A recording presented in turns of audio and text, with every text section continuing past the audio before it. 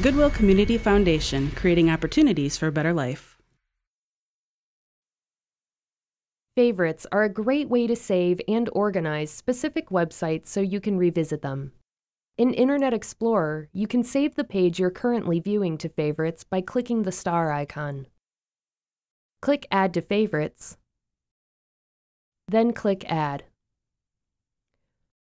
Once you've added a website to your favorites, there are several ways to open the website. For example, as you begin typing in the address bar, any saved pages matching the text will appear under Favorites. Just click a favorite to open it. You can also click the Favorites button to see your saved pages. And if there are sites you visit frequently, you can save them to the Favorites bar for quick access. To show the Favorites bar, right-click the top of the browser window and select Favorites bar. Then, to save the site you're currently viewing, click the star icon on the left side of the Favorites bar.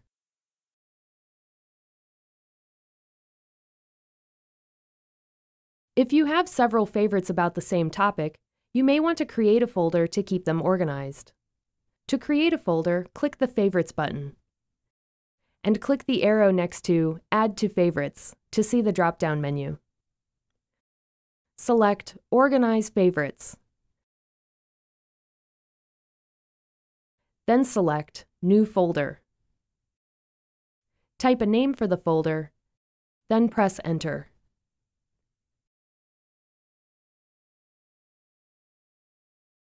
Now if you want to save a page to a specific folder, you can click the star icon, click Add to Favorites, then just select the folder where you want the page to be saved.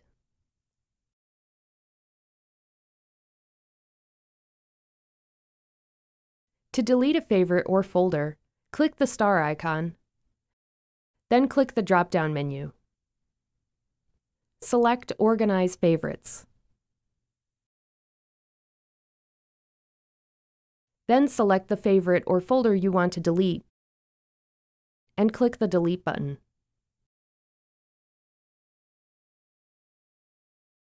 And those are the basics of using favorites in Internet Explorer.